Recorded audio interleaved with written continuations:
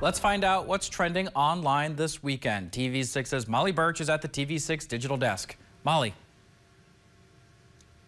Well, SpaceX launched another batch of Starlink satellites into orbit this morning. The Falcon 9 rocket, carrying 22 internet satellites, lifted off from Vandenberg Space Force Base in California at 2 in the morning Pacific time. That's around 5 in the morning Eastern time or 4 a.m. Central time. It was the seventh flight for the first stage booster supporting this mission, which previously launched Space Development Agency's Tranche Zero mission. The first stage booster has now launched six Starlink missions. Starlink satellites provide internet services to parts of the world. SpaceX recently announced that it signed over 2 million subscribers in more than 60 countries for its Starlink internet service. Since, since 2019, it has launched more than 5,100 satellites.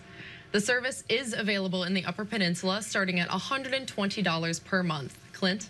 Another option for those looking to for uh, internet for sure, Molly. Yes, absolutely. And in other trending online news, nature lovers are mourning the loss of the largest and oldest tree in North America today. A drone flight from a month ago shows the tree standing tall in Bob Woodruff Park in Plano, Texas.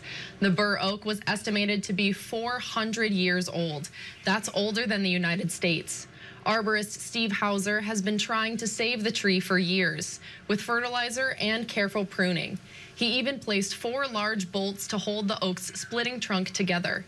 He found it toppled over on Wednesday after a storm and says it's the result of flooded soil and time. An urban forester for the city of Plano says they are disappointed after doing, quote, everything they could to keep this tree alive. Experts say they don't know yet if they can save pieces of the tree to be repurposed. A tree that stood watch over 400 years of history finally met a storm it could not weather. Clint? Well, the end of an era to be sure. Thank you, Molly.